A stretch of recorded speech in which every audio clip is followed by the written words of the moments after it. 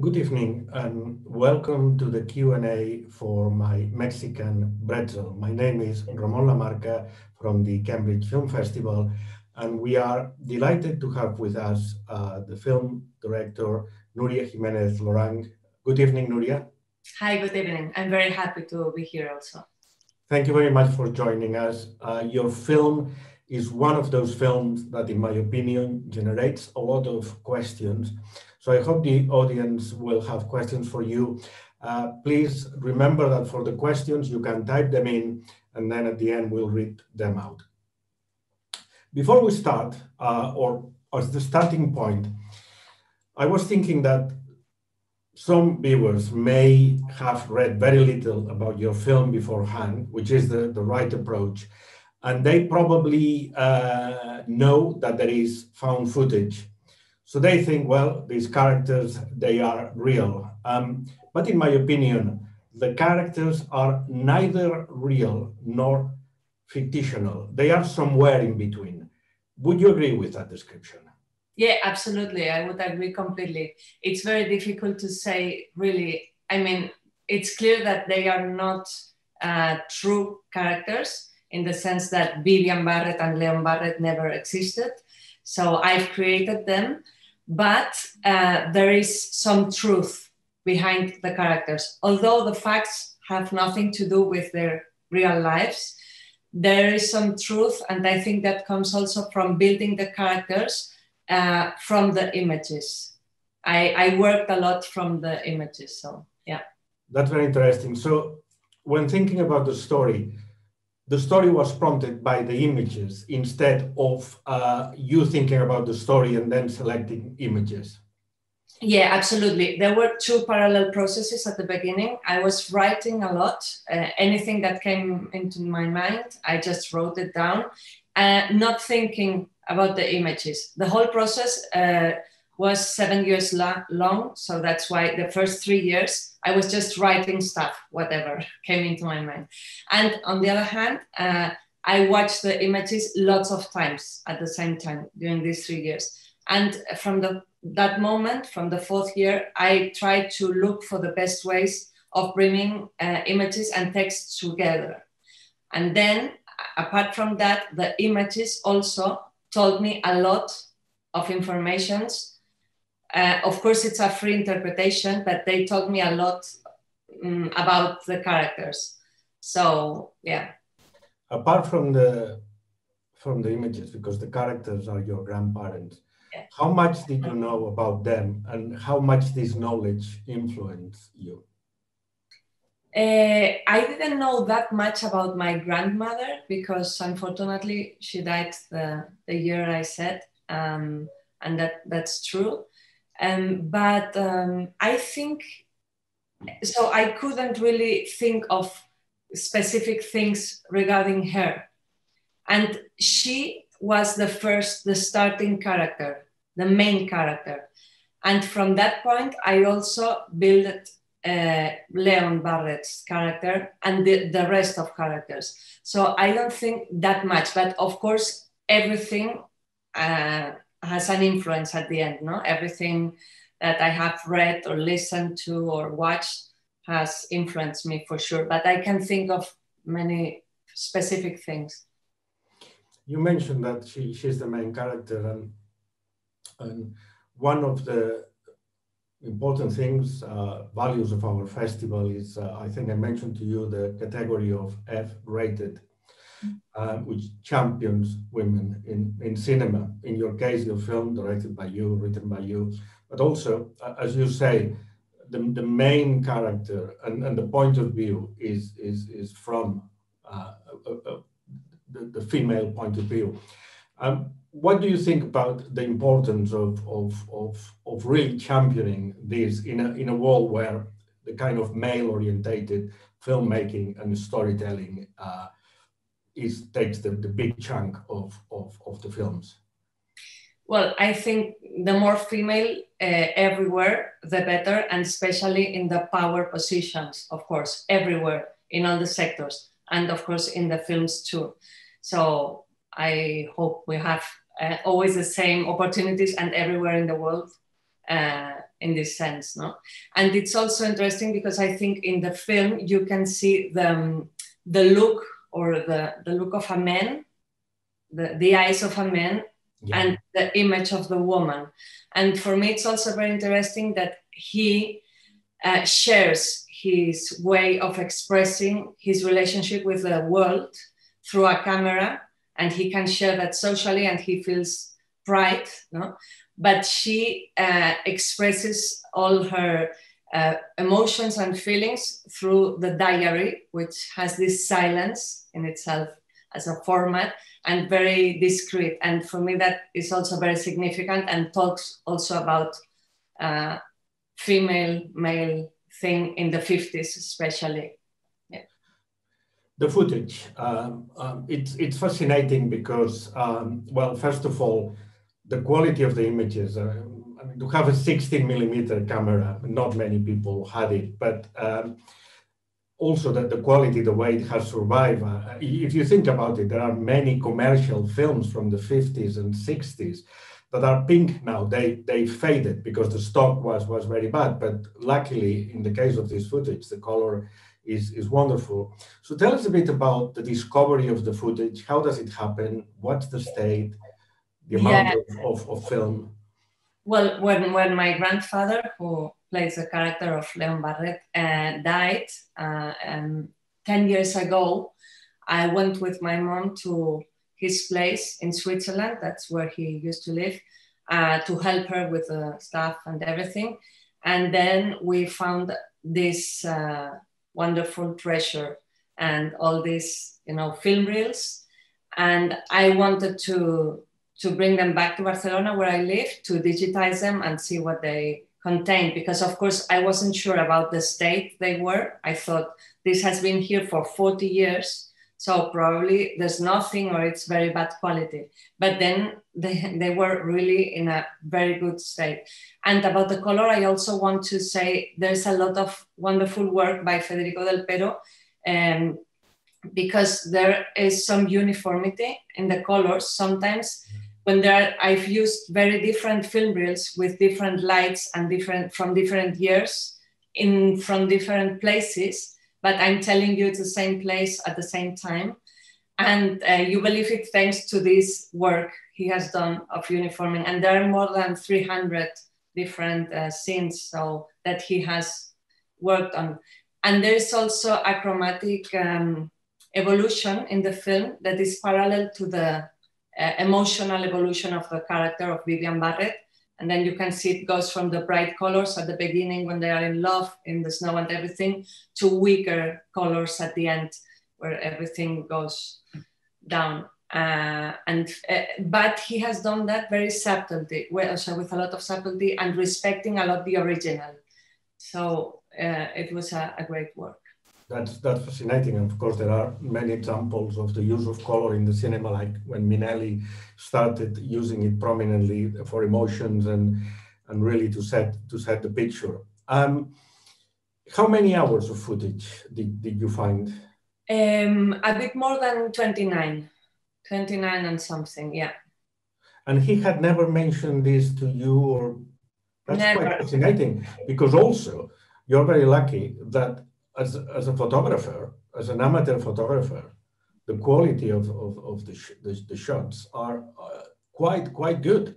He's not like moving the camera quickly up and down, left and right. He is uh, things in a quite filmic way for, for an amateur. Um, yeah, absolutely. Yeah, it, that was another surprise because the, the images were amazing. And in fact, from that 29 hours, it was very difficult for me to take out lots of images I loved and I wanted to include in the film. And the first versions were about five hours long and then three hours long. And then I had to take out.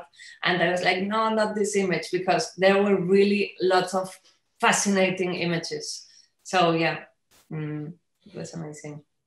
I, I remember once reading a, film theorist, the book, uh, Rudolf Arnheim, and he's one of those theories that say that Silent film is more artistic, that basically when sound arrived, the dialogues in a way took some of that artistic element from cinema, which was quite unique. It's the telling a story just by using images, not dialogue. So I think in a way that seeing your film made me think about that and how it in a way vindicates this. So do you think the fact that you are using silent, silent images allows you more kind of artistic freedom? Yeah, I think so because I also tried the voiceover just to discard it. I had already discarded it, but I wanted to try it, of course, to be sure. Uh, and then I really saw that, for example, I couldn't have used the sound the way I have used it if I have put voiceover. Clearly, I couldn't. It would be a much more conventional sound, probably, no ambient sound, etc. And also, I think there is mm, it's so powerful and also poetic somehow to watch moving images in silence. Yeah. It's amazing, and it's something we can't really do anymore because there's sound everywhere all the time. so for me, it's almost like a, a luxury, you know, to, to watch this uh, beautiful images or any moving images in, in silence. There is something very powerful, and you look them in a completely different way as if there is uh, sound.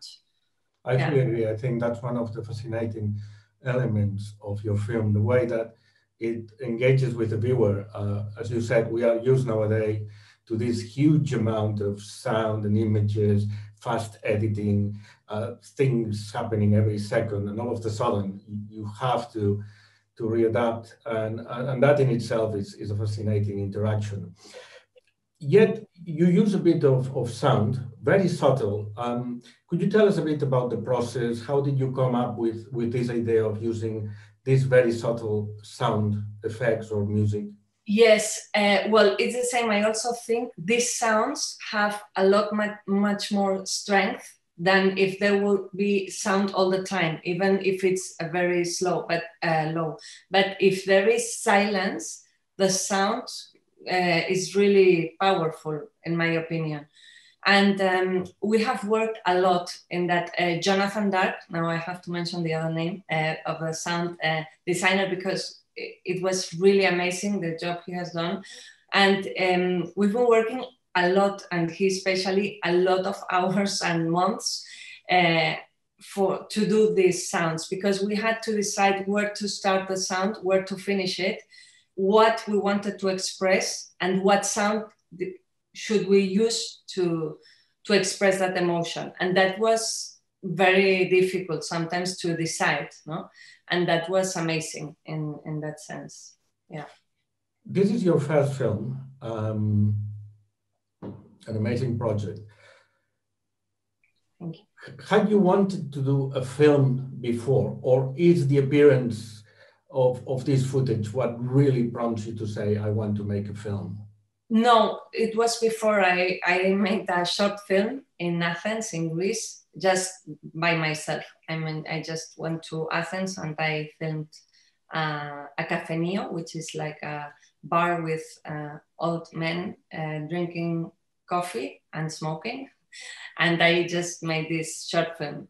Um, but there was this interest uh, for the last, you know, like 12 years or something. That there is an interest, especially also in visual language, because it's something new that was really interesting for me uh, that I discovered in the last years. The um, analog, we have actually a documentary, very interesting documentary to festival about the, the power of, of analog. I think there is a, a quality of these analog, these film photochemical images that in a way allows us to get into this, this world, which is neither real nor fictional. And perhaps it would be difficult with the very kind of sharp digital imagery. Would you, would you agree with that? Yeah, maybe there's something, yeah, in between, something oniric too, no? Between this uh, real digital thing that is like harder somehow no? And the um, there, there is something uh, yeah for me more oniric or softer that uh, maybe has this half uh, world thing that you're saying no? Between fiction and reality yeah possibly Tell us a bit more about this. Obviously, this is this is the theme um, that one of the themes uh, in the film. You know, this fiction, this reality, this this true um, false. Tell us a bit more uh, about your idea and, and, and what you wanted to to do with with this subject. Um, well, I just wanted to feel complete freedom uh, doing. Um, building something with these images, working with these images and relating myself also with, with these images. And for me, that has been a beautiful process, also sometimes a bit desperating, but it was very interesting in that sense. Also, um, I didn't want to tell the story of my grandparents because I didn't want to, you know, tell about them or the real stories. Uh, and that might sound a bit uh, might sound a bit contradictory, but I feel very comfortable using uh, the images, but not the real lives. Uh, but it was very interesting because when my mother uh, watched the film, she told me that I had made a more truthful portrayal of my grandparents than if I had told their true story. And for me, this was very significant and, and also, I think, beautiful in, in some way because it means you can also express no, a truth through a fiction. And um, probably if I would have tried to stick to the facts of their real lives, I would have lied much more. and it would be more false somehow, you know. Absolutely fascinating and interesting.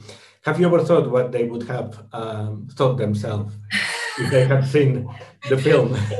yes, I have thought of it, but um, I have no idea really. I mean, I I want to think that uh, they would have liked it, but it's very difficult. It's like uh, this kind of speculations that when you start, you can go to very far away places. So I prefer not to.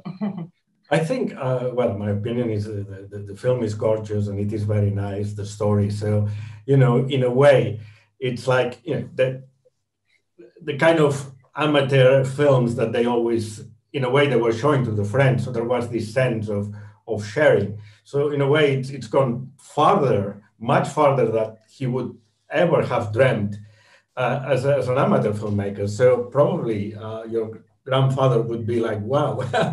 in that sense, I think also because the these images have been 40 years in this dark basement. So for me, there's also some beauty in giving them a new life.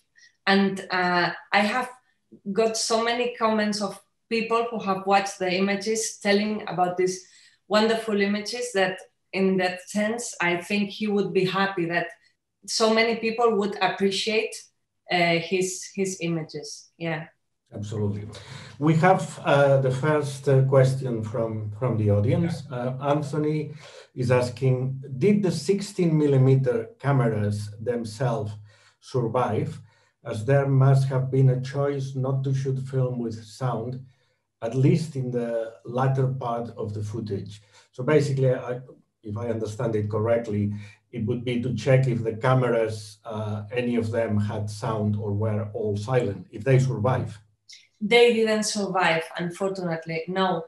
Uh, there was also some 8 millimeters material, and that camera did survive, but not the not the 16 millimeter cameras. No, and they were all mute. All the material I got, there was no sound in any of them.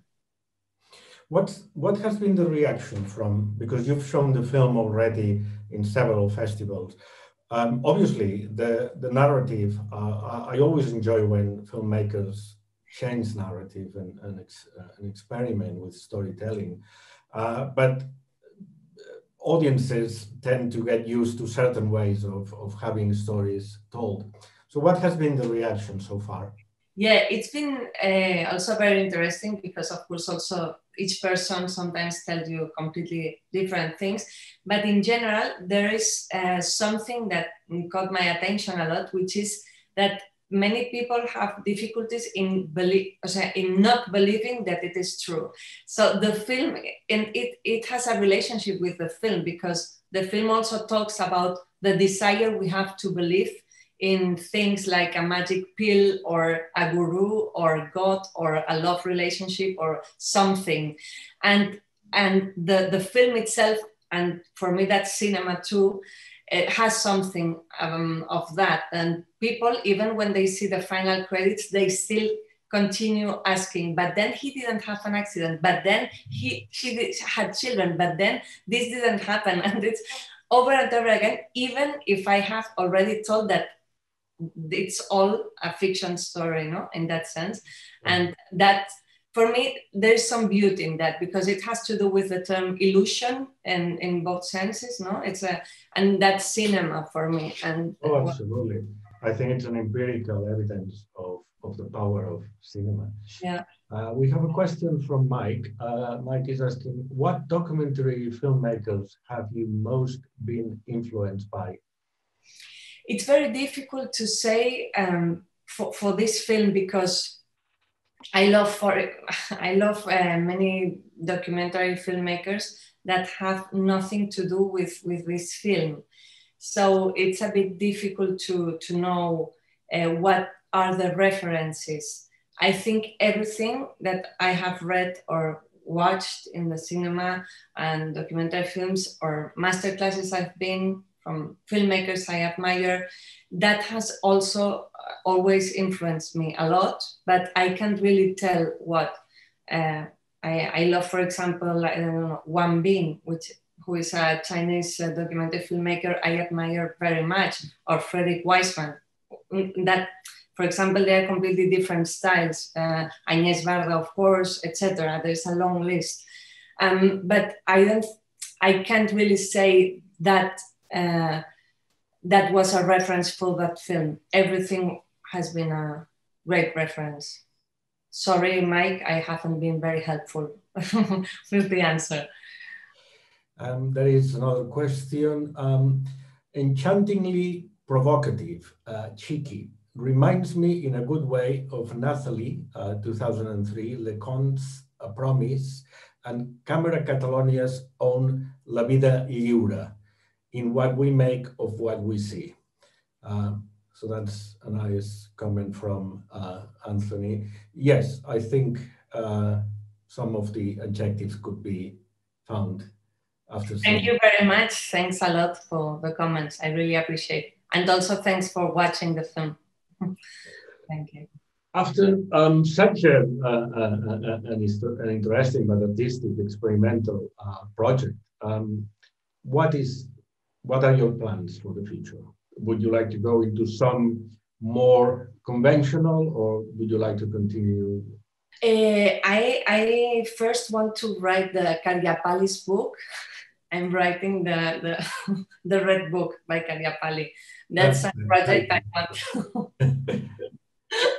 because it's fun and uh, I love to do these kind of things. If I can work from the same place, more or less, I've been uh, making the film for during seven years, then uh, the next project uh, is fine as long as I do it from that point. No, so I would like to write this book and also maybe try to write a fiction film, but you never know.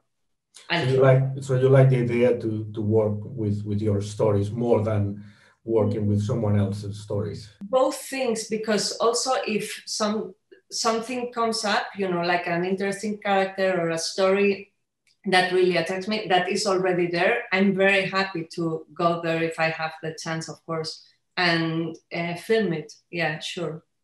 So, with all the remaining material, would, would there be the chance of a sequel of uh, Leon's and Vivian's uh, story?